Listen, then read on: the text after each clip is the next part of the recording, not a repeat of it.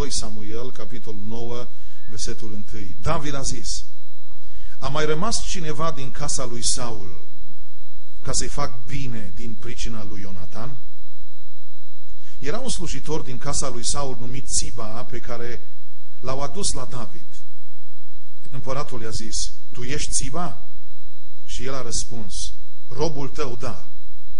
Împăratul a zis, nu mai este nimeni din casa lui Saul ca să mă por cu el cu o bunătate ca bunătatea lui Dumnezeu? Și Țiba a răspuns împăratului, mai este un fiu al lui Ionatan, o log de picioare. Împăratul a zis, unde este? Și Țiba a răspuns împăratului, este în casa lui Machir, fiul lui Amiel, la Lodebar. Împăratul David l-a trimis să-l ia din casa lui Machir, fiul lui Amiel, din Lodebar.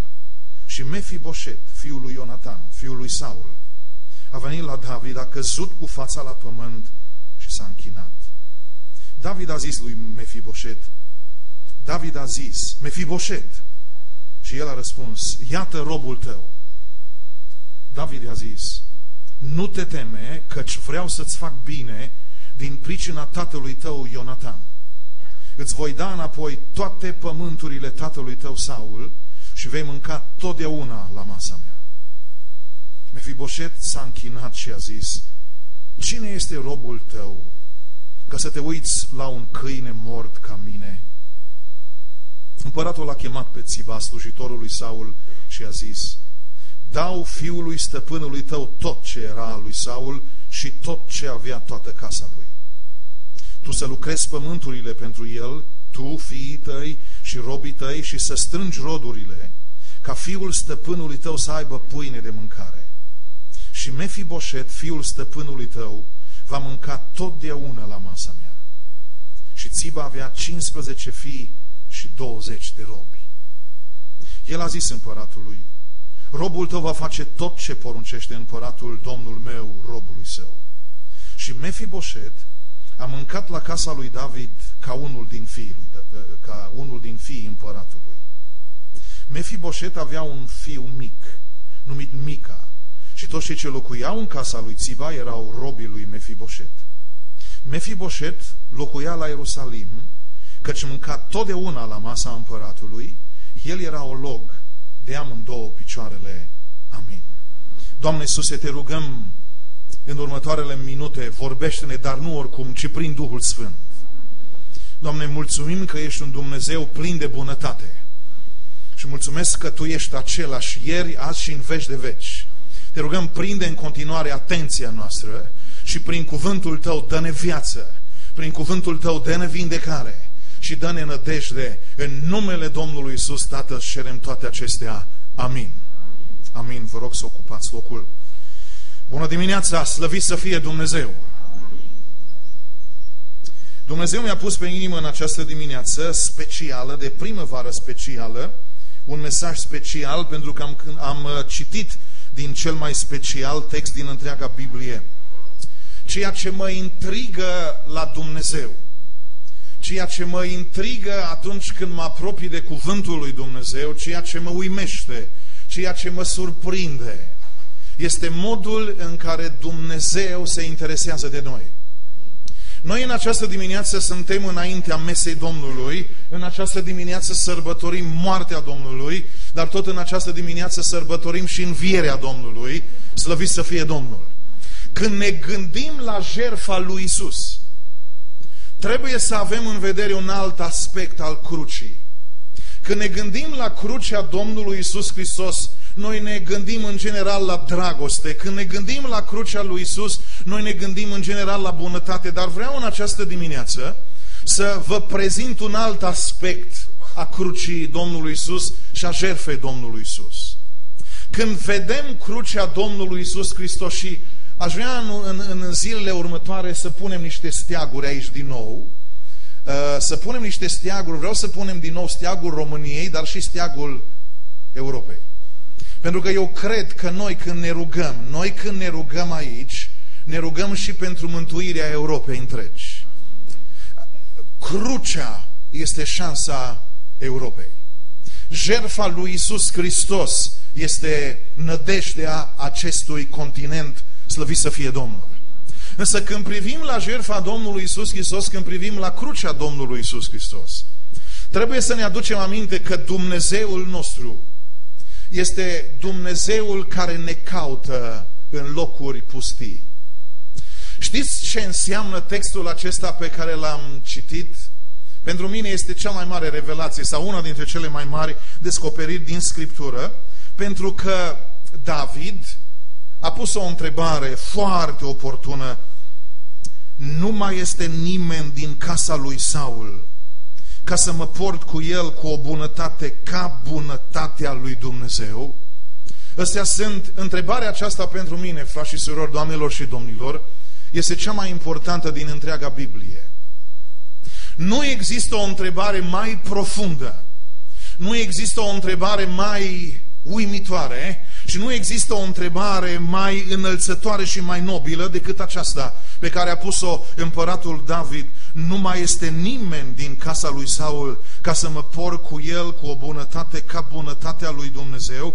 Și Țiba a răspuns împăratului. Țiba asta a fost un bandit, un viclean. A fost un nesimțit la un moment dat.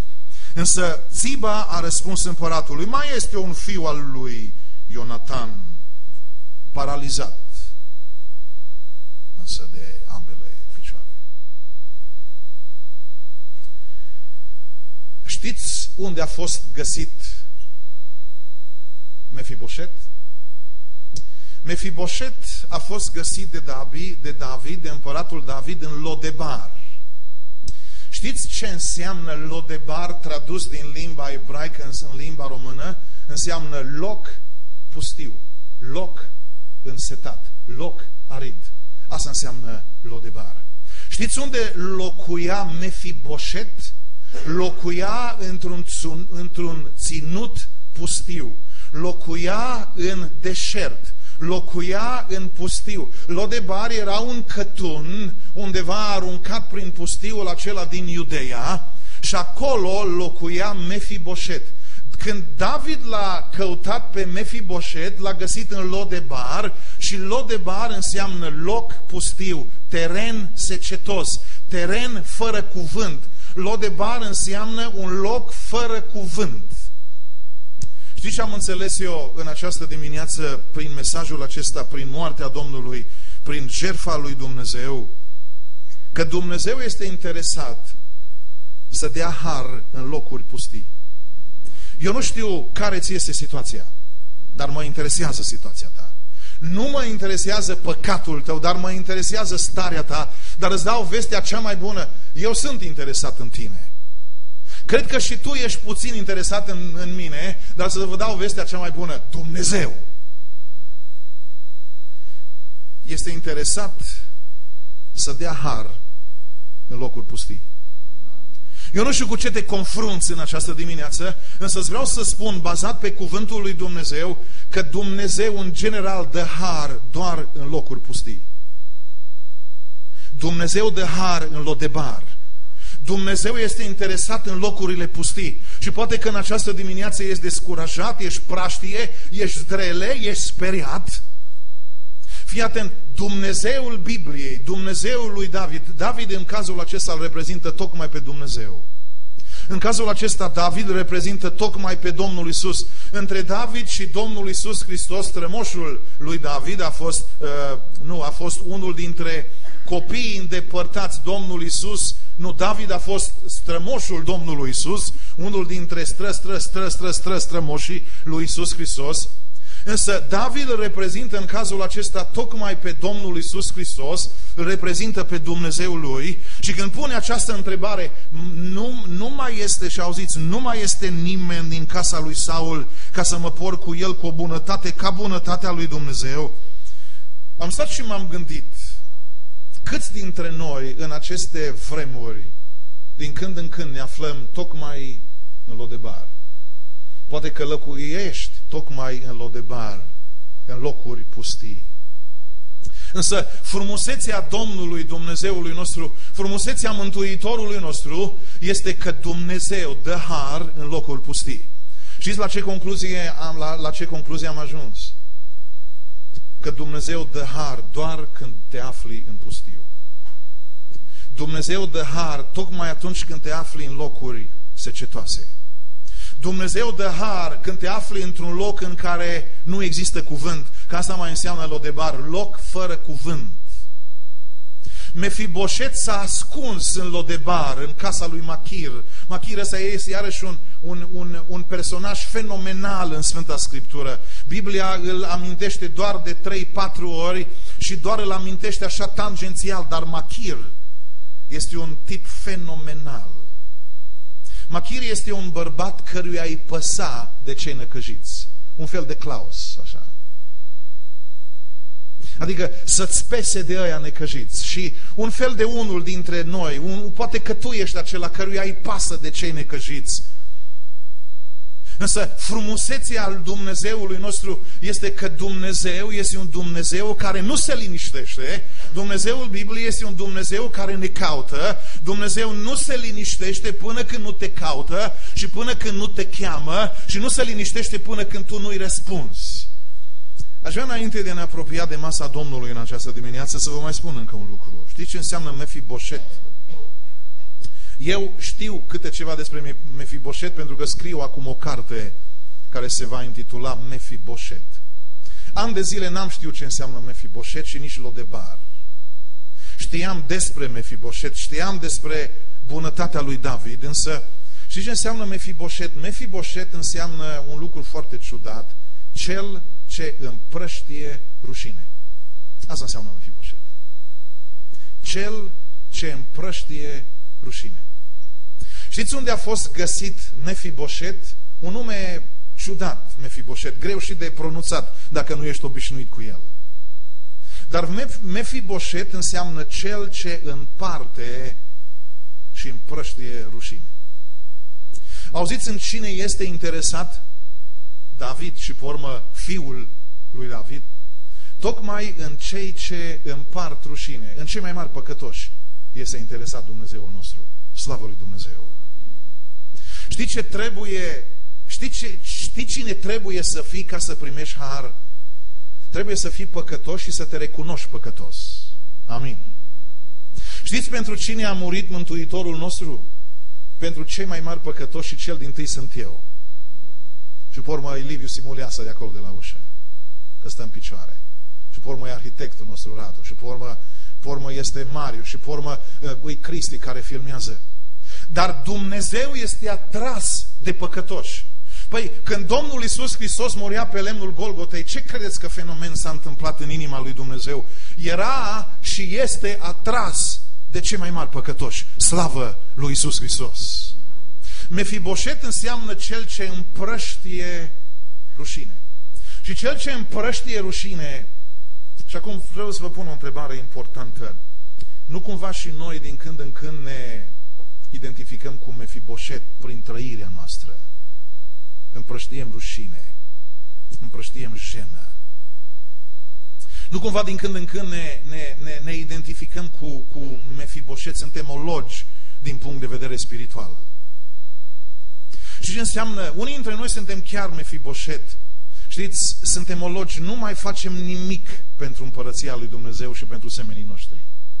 Ori Dumnezeu nu vrea să fim în starea aceasta. Amin. E important că venim în casa lui Dumnezeu. Amin. Dar să știți că nu e suficient de important. Dumnezeu nu ne vrea oloci, Dumnezeu nu ne vrea infirmi, Dumnezeu nu ne vrea paralizați când este vorba de împărăția Lui, când este vorba de biserica Lui, când este vorba de orașul Timișoara, când este vorba de Europa. Dumnezeu nu mă vrea olog, ci Dumnezeu mă vrea activ în lucrarea sa și în biserica sa. Doamne, ajută-ne la aceasta!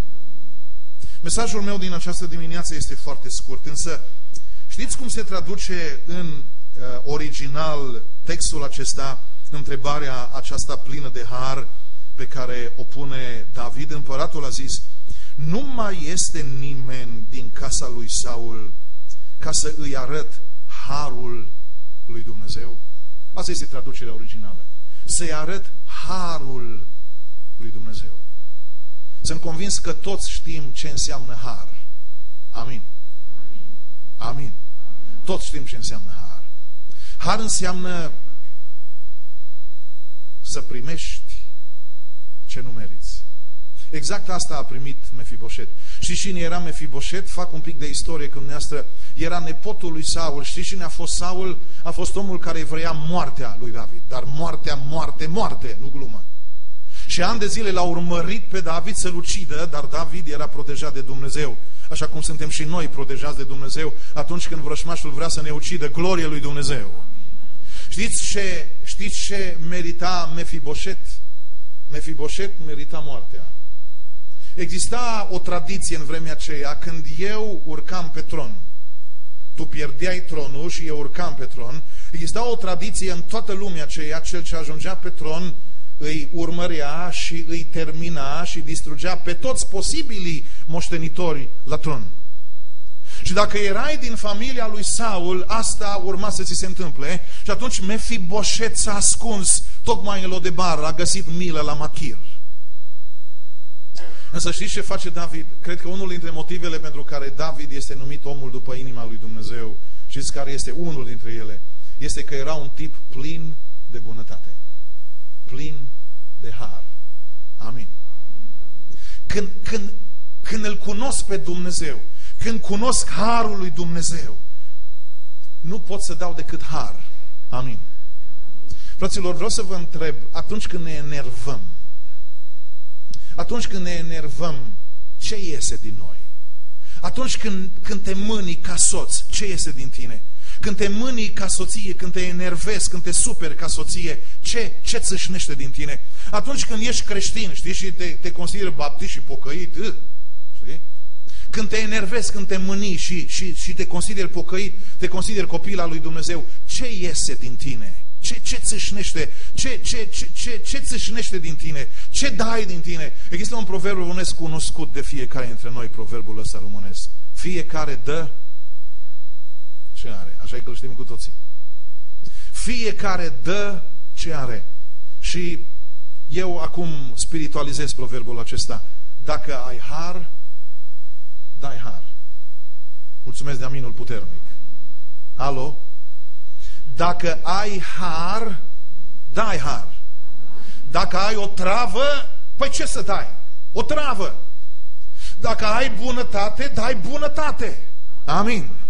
Fraților, prea mult ne jucăm cu pocăința, prea mult ne jucăm de-a biserica, prea mult ne jucăm de-a creștinismul. Cuvântul lui Dumnezeu ne spune așa, că Dumnezeu dă har și toarnă har în locuri pustii. Și dacă ești pustiu și gol pe dinăuntru și ești secetos și ești setos și ești însetat și ești flămând, Dumnezeu dă har celor flămânzi. Însă fii atent cum ne-am jucat noi cu pocăința. Am înțeles greșit total harul lui Dumnezeu. În momentul când Dumnezeu mi-a dat Duhul Sfânt, în momentul când Domnul Isus Hristos a murit pentru mine și l-am primit în inima mea, Dumnezeu mi-a umplut viața cu har. Amin. Și atunci dacă eu sunt plin de har, când mă împiedic, când, când mă tulbur, ce iese din mine? Har.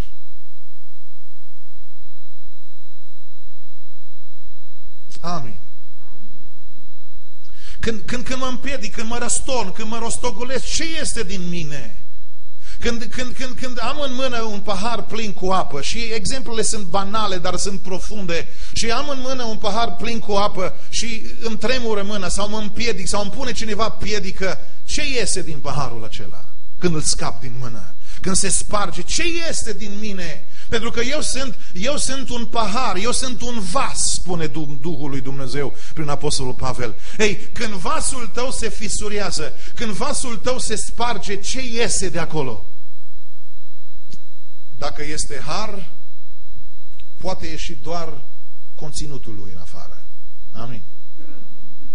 Dacă este noroi și miserie și poluare, când cineva îți spune piedică, atunci când te împiedici tu sau altul te, îți spune piedică sau tu te împiedici, nu poate să țâșnească din tine decât răutate.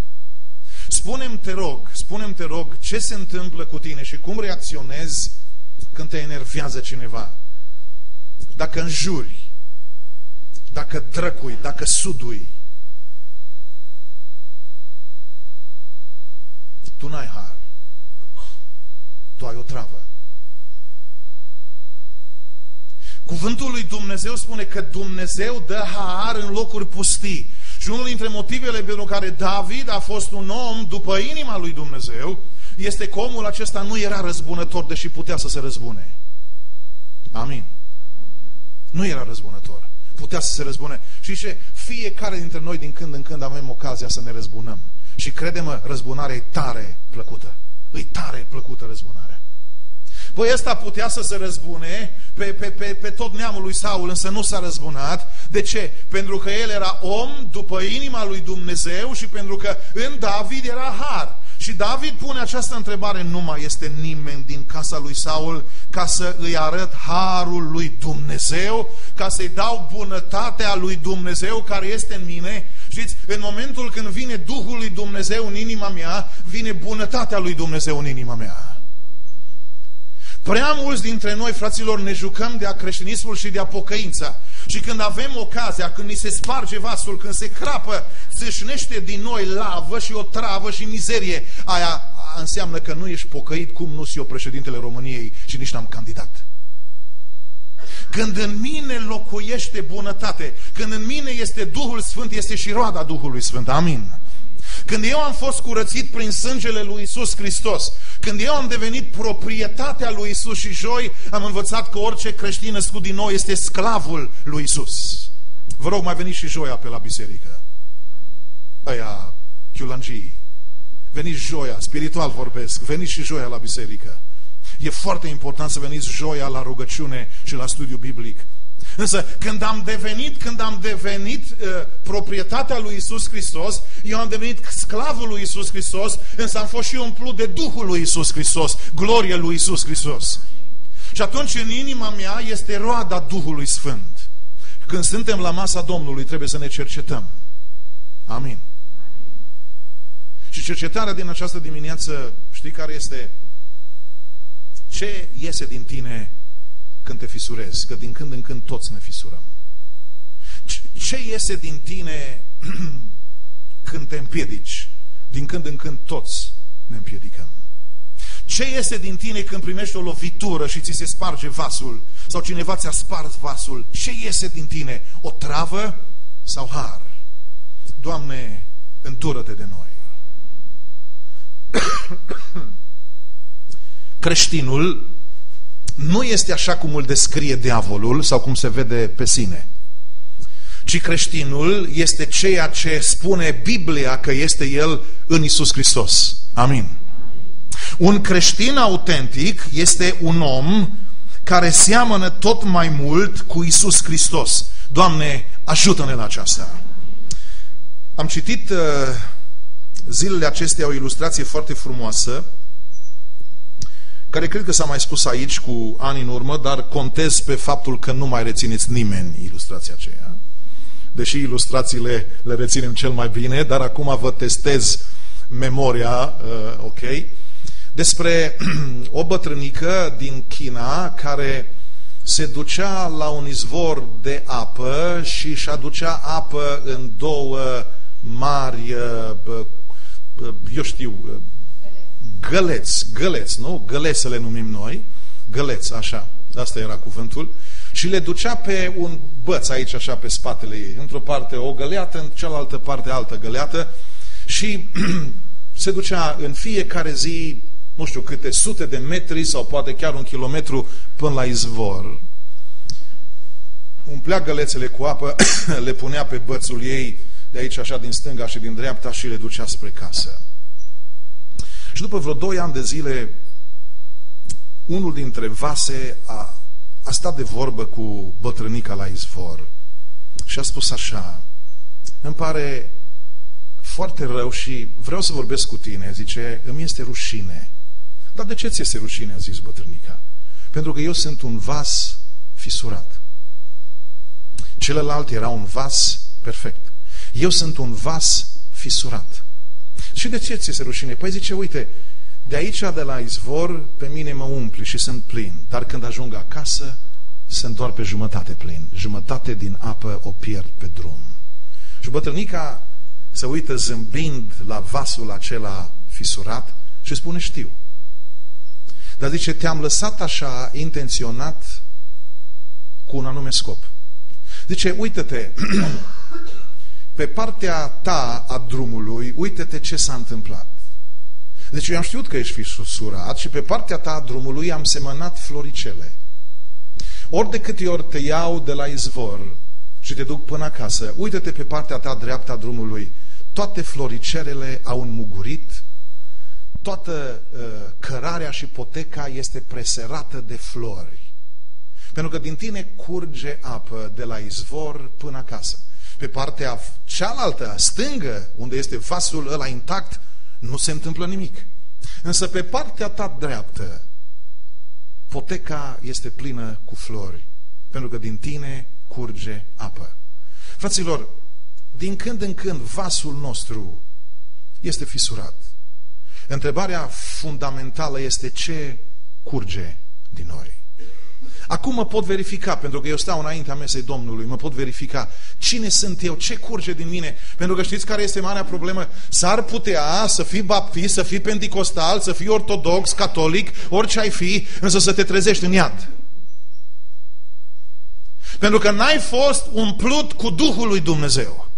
Pentru că atunci când sunt umplut cu Duhul lui Dumnezeu, în momentul nașterii din nou, în momentul când sunt curățit în sângele lui Hristos și în momentul când Domnul Iisus Hristos vine în inima mea, El mă umple cu Duhul Sfânt și una dintre roadele Duhului Sfânt sau parte din roada Duhului Sfânt este bunătate, este har.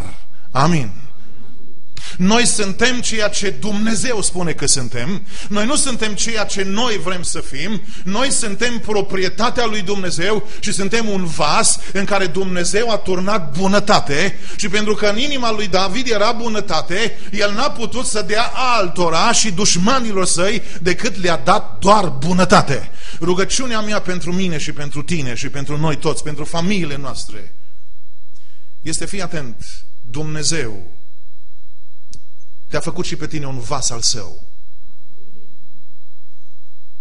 Poate că în această dimineață ești un mefiboșet care are nevoie de har pentru că te afli în locuri pustii.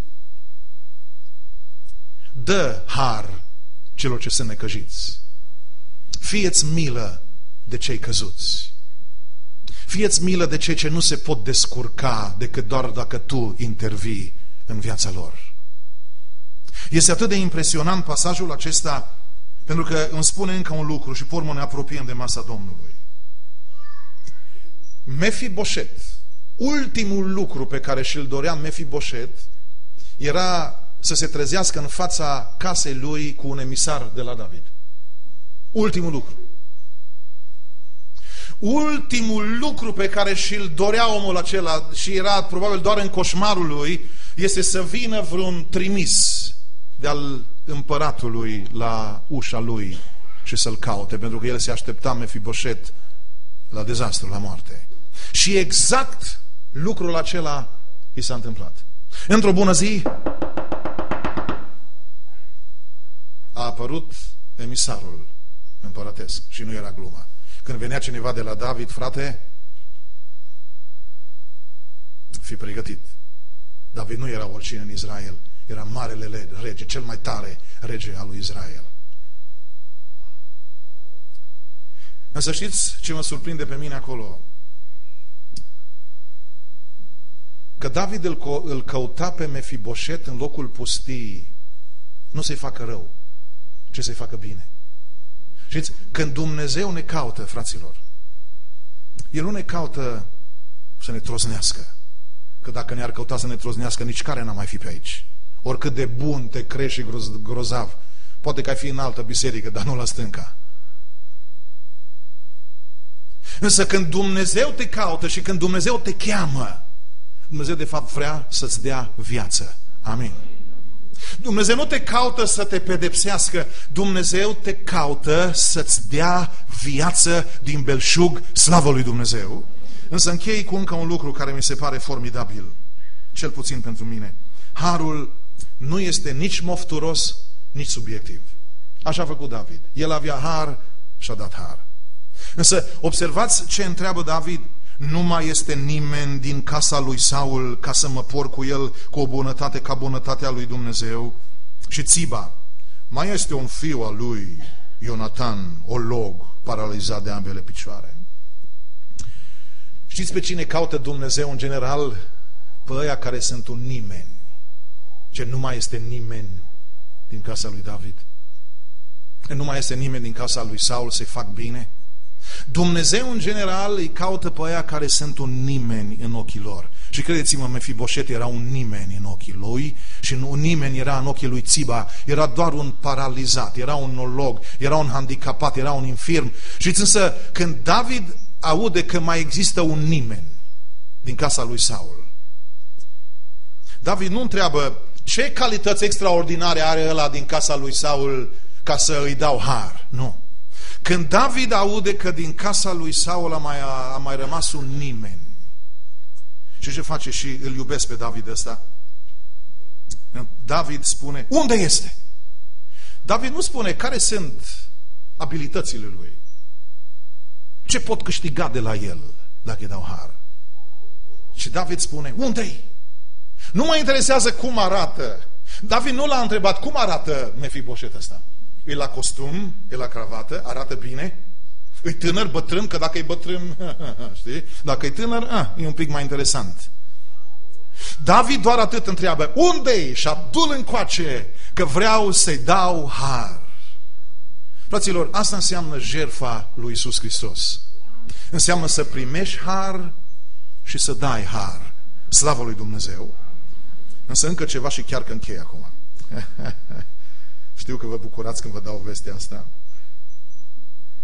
Știți, harul însă, deși nu este mofturos, deși harul nu se uită la tine cum arăți, ci harul îți dă har. Harul dă har. Harul dă viață. Vă mai spun încă ceva în final. Harul te obligă. Mulțumesc de aminul puternic. Harul te obligă. Har... Știți, când eu în această dimineață și Cătălin va vorbi și alții vor predica aici despre har, să știți că atunci când vorbim despre har, spunem lucruri care pe unii deranjează. Când vorbești despre har, harul te revoltă, pentru că în har Dumnezeu se coboară până la Mefiboset, în locul pustii. Și ridică pe cei mai ticăloși și paralizați oameni, Dumnezeu îi ridică. Pe cei mai mari bandiți, bandiți, Dumnezeu prin har îi ridică slavă lui Isus Hristos. Însă când predicăm despre har, noi nu dăm autorizare cuiva să păcătuiască. Când cineva predică despre har, aia nu este o ordonanță, știi, de acum poți să păcătuiești cât vrei tu, că Dumnezeu e bun și te iartă. Nu!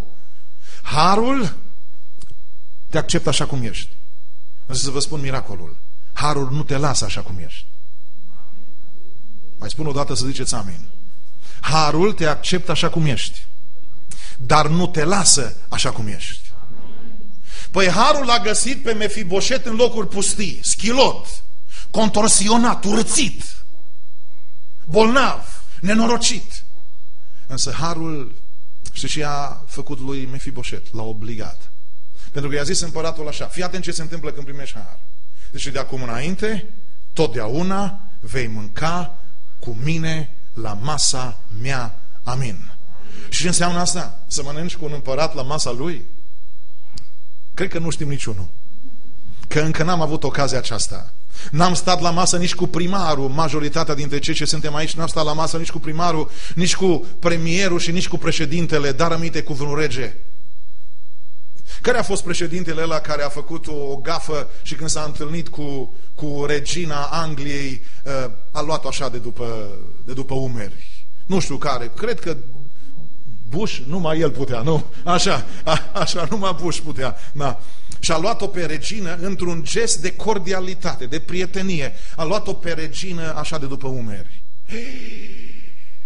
Ce scandal! Mai să înceapă război între Anglia și America. Mai să trimită ăștia avioane, știi? De ce? Pentru că cu un rege nu te poți comporta cum vrei tu. Și ce s-a întâmplat cu Mefiboset? Harul l-a obligat. Și i-a zis David, vei mânca totdeauna cu mine la masa mea. Și ce înseamnă asta? Harul te obligă. Nu mai poți să te porți ca înainte, chiar dacă ai avea ocazia. Amin. Nu mai poți să fii ce ai fost. Pentru că harul te ridică din groapă și te duce la masă. Și acolo nu mai poți, te duce la masă cu Domnul Isus Hristos. Și noi stăm acum la masă cu Domnul nostru Isus Hristos. Harul încă ceva, harul te schimbă. Amin. Asta înseamnă să, să dea Dumnezeu, să trimite Dumnezeu har în locuri pustii. Harul te obligă. Pe urmă, harul te schimbă și harul te ridică. Și fii atent încă ceva. Harul îți schimbă gândirea, harul îți schimbă vorbirea. Amin. Știți că la vorbire unii o dăm în bară. La vorbire unii avem probleme mari. Biblia spune vorbirea voastră să fie cum? Nu! Nu! Așa! Dar da, da, observați ce știm. Observați, observați că noi ne concentrăm numai pe sare. Noi așa am știut, la, la prima vedere observați, asta este firea, asta este instinctul. Și eu am, înce, am, am început să citez versetul, vorbirea voastră să fie și câțiva dintre noi cu, cu sare. Nu, nu, nu, zice Pavel, vorbirea voastră să fie cum? Cu har, dreasă, cu sare. Câtă sare pui în supa de azi de la miaz? Câtă sare? Pui un kilogram? Nu! Pui un vârf de cuțit. Amin. Vorbirea voastră să fie cu har. Știi? Când ai primit har, când ai fost chemat, când ai fost luat din văgăună, când ai fost luat din mizeria ta, când ai fost scos din anonimatul tău, când ai fost luat din, din, din, din, din rușinea ta, știi? Contorsionat și urât cum ai fost din punct de vedere moral și spiritual, Dumnezeu spune de acum vei mânca totdeauna cu mine la masa mea. Însă există niște condiții. Nu mai poți fi cum ai fost. Harul îți schimbă gândirea, îți schimbă vorbirea, îți schimbă comportamentul. Alo? Amin. Și îți mai schimbă ceva, inclusiv îmbrăcămintea. Harul îți schimbă. Credeți că Mefiboset s-a dus la masa împăratului, așa tamne sam, s-a aruncat și el acolo niște blugi, știi? Pe acolo, s-a aruncat. Nu, acolo era vorba de etichetă. De etichetă. Știi, și parcă îmi imaginez masa aceea când îl văd pe Absalom venind la masă. Un tânăr înalt, frumos, elegant. Și dintr-o dată, dintr-o dată, aud niște bocănele, niște bastoane. Lângă frumos și copia lui David, la un moment dat apare ultimul, sau poate primul. Și se aude doar lovitura unor bețe. Mefiboset vine la masă. La masa lui Isus Hristos. Acolo unde poți comporta oricum. Știți însă, și cu asta chiar închei, știți însă, mulțumesc de încurajare, știți însă ce m-a uimit pe mine și mai mult? Mefiboset a avut har doar atât cât a stat sub autoritatea lui David. Și David i-a zis așa, de acum totdeauna vei mânca la masa mea. Totdeauna vei mânca la masa mea. Dacă suntem dispuși să stăm la masă cu Domnul, vom avea din belșug de toate. Amin. Când însă nu te mai duci la masă cu Domnul, riscul este al tău. O să-ți meargă prost. Închei cu o ilustrație despre un evreu care a intrat într-o cafenea Starbucks și citea, s-a așezat într-un Starbucks și citea un ziar arabesc. Evreul în Starbucks citea un ziar arabesc și după câteva minute a intrat în același Starbucks un prieten care, văzându-și prietenul evreu citind ziar arabesc, a zis, Moșe, Așa l chema pe ăla care citea arăbescu. Moșe, ți-ai pierdut mințile? De ce citești un ziar arăbesc? Și Moșe răspunde așa. Zice, citeam ziarele evreie și ce să vezi? În ziarele ce era scris. Evrei persecutați. Israelul atacat. Evrei dați dispăruți prin asimilare și căsătorii interrasiale. Evrei trăind în, în sărăcie. Așa că am trecut la citirea ziarelor arăbești, arăbești și ce am găsit? Evreii dețin toate băncile din lume. Evreii controlează mass media. Evreii sunt toți bogați și puternici. Evreii conduc lumea. Știrile sunt mult mai bune în ziarul arabesc. Fraților, când ne luăm după ceea ce se întâmplă în lume, știrile sunt proaste. Când ne luăm însă și citim ceea ce ne spune cuvântul lui Dumnezeu, știrile sunt bune. Când hotărâm să stăm la masă cu Isus Hristos, știrile sunt tot mai bune. Când hotărăști să stai în harul lui Dumnezeu, știrile vor fi tot mai bune, în ciuda ceea ce se spune în lume, în ciuda pronosticurilor, în ciuda uh, premoniților, în ciuda, eu știu, uh, viitorului sumbru, că în sfârșitul în 2011, sfârșitul în 2012, sfârșitul o fi în 2013, când citim cuvântul lui Dumnezeu și ne luăm după cuvântul lui Dumnezeu și stăm sub autoritatea cuvântului lui Dumnezeu, știrile sunt din ce în ce mai bune, pentru că noi am primit har și stăm la masă cu Dumnezeul Harului și El ne dă din belșug tot ceea ce avem nevoie, slăvit să fie Domnul. Ești în locuri pustii, ești în Lodebar, îți dau vestea cea mai bună. Pentru ce din Lodebar a murit Isus Hristos? Ești necăjit, îți dau vestea cea mai bună. Domnul te scoate din groapa ta în sângele lui Isus Hristos. Glorie Domnului. Amin.